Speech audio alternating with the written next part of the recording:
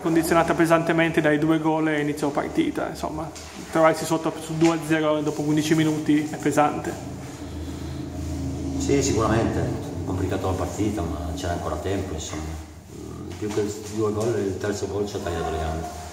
Ecco, è stato preso anche in un momento appunto che non eravamo a fine partita, quindi magari si poteva non beccare in contropiede e cercare di stare un po' più attenti, no? Sì, sì, bisogna... Visto che mancava ancora tanto, insomma. Sì, sì, sì, bisogna gestire meglio le gare, insomma, avere un un po' più di pazienza in alcuni momenti della gara, e, però insomma il nostro, il, nostro, è il nostro modo di essere questo, noi giochiamo sempre per fare la partita, per provare a vincere, quindi alziamo tutta la squadra, è chiaro che qualche ripartenza la dobbiamo concedere agli avversari.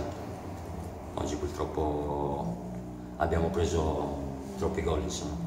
Sì, eh, soprattutto la difesa ha reso meno rispetto al solito. Comunque avete perso contro una squadra di alta classifica. Comunque non, non sono non problemi complessivi, non è un problema sì, di difesa, è un problema di squadra, insomma si difende tutti insieme, si attacca tutti insieme.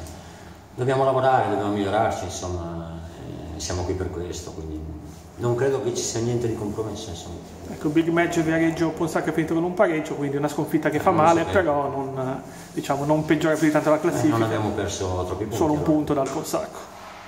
Sì, sì, una classifica, insomma, siamo lì, siamo lì, a lottare con tutti gli altri, sapevamo che era una partita difficile, con una squadra che gioca lì, gioca lì in difesa e, e, riparte con questi giocatori veloci davanti, insomma noi dovevamo sicuramente fare meglio. Il mercato è iniziato, sono andati via quattro giocatori, c'è bisogno comunque a centrocampo in attacco, anche perché comunque il campionato va avanti, due partite le avete ancora prima della sosta.